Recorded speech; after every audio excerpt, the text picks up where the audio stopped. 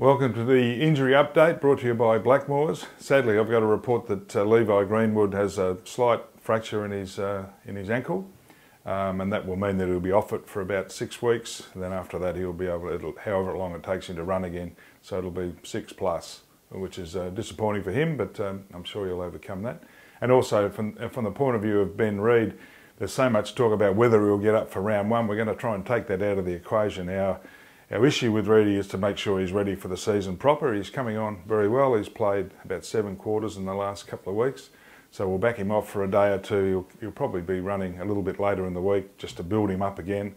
Uh, now he may get there for round one, but that's certainly not the main objective. The objective is for him to play the, the season proper, so it's probably less likely than likely, but he is going very well. Tyson Goldsack uh, has had a slight shoulder issue on the weekend, but he'll, he'll be fine.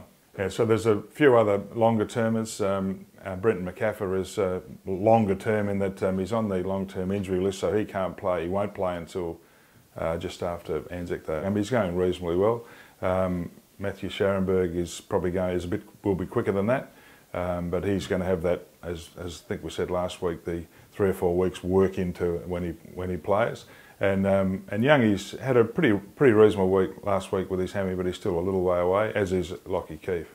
And and the really positive is that uh, uh, Marsh, Seedsman, and Moore all played in the uh, practice game on Friday, and will play again on Thursday in the game, in the VFL game against Richmond. So they're well on the way.